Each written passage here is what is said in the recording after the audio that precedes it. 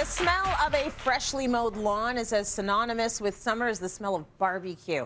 Unfortunately, you can't get that perfectly lush lawn by simply planting some grass and hoping for the best. It just doesn't work. So Carson's back with tips for growing the best lawn in the neighborhood. You want everyone to be jealous. So Carson, you've got a checklist for us, right?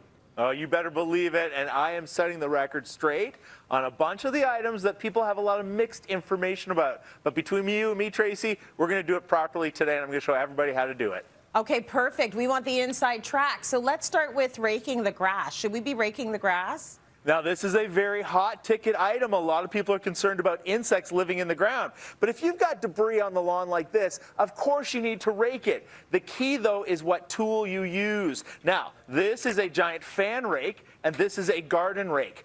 The garden rake should go only in the garden not in the lawn. Don't use that for your grass. It's too strong. It will shred the soil. The fan rake, though, cleaning up like this is perfect. And you're not disturbing the insects under the soil because the insects are living four to seven inches deep underneath the roots of the grass. So when you do this, you're not disturbing the bugs at all. They're totally fine. What you are doing, though, by using the fan rake is you're loosening up all the debris and you're activating new growth for your grass. So especially if you have Kentucky bluegrass or some of the horizontal grasses that spread through the yard, this will get them going, start to self-repair all the holes that might be in your green sod. It's like a scalp massage, right? You just get in there and it helps it grow. Okay, let's There talk about go, exactly. fertilizing. uh, is there a right time to fertilize your lawn? Right.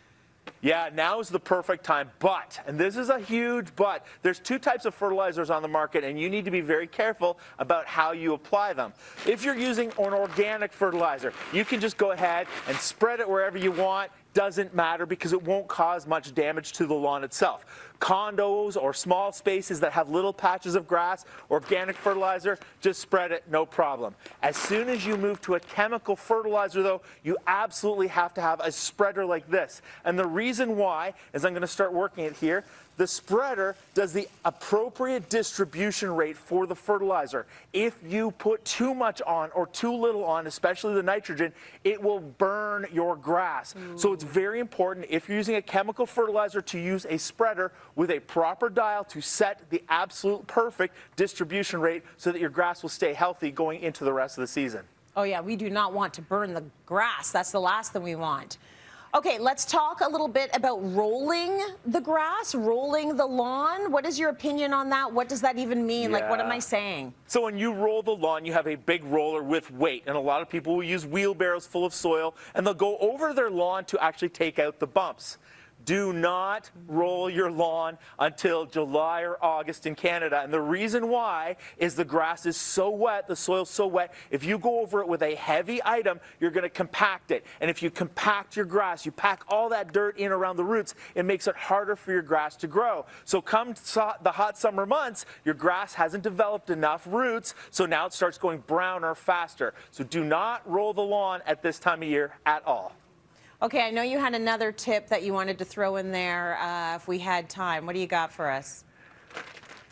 Real quick one, we are not putting down grass seed until nighttime temperatures are above six degrees, but the way to do it is I take a bag of soil, this is about 20 liters of soil, and I'm gonna put about that much grass seed into it. That's about three pounds. And we're gonna mix it together just like this. See how that all mixes together nice? And then you can take this and you can spread it on your lawn. You can put it in the patches. You can put it in anywhere you need it. What's great at this time of year, a lot less watering that you're going to have to do to have healthy green lawn. And the new grass seed will work its way down in amongst the older grass because the soil's already there. It will germinate faster and be healthier as a result. Carson, you don't need any lawn tools. You mix it with your hands. You throw the fertilizer with your hands. you just you don't need anything. Okay, talk to me about any of the yellow the yellow spots on the lawn that drive people bananas. What is there anything you can do about Yeah. them? What might be causing them? Help us out. Yeah, so at this time of year, if you have a female dog or you're a female dog owner and they've urinated, you get those yellow spots, or if you've had bad crabgrass or any insects that have gotten in there eating it, that's where you're going to patch those sections. So that's going to be a good hard rake. You're going to get in there with this good grass seed. You're going to fill it in all around that spot. You're going to water it well. You're going to wait two weeks, and then you're going to fertilize that space as well. So fertilizing can happen today, but after you put down new seed, you want to wait two more weeks after the new seed starts to germinate before you fertilize again. He's got all the answers, everyone. Carson, thank you so much for that.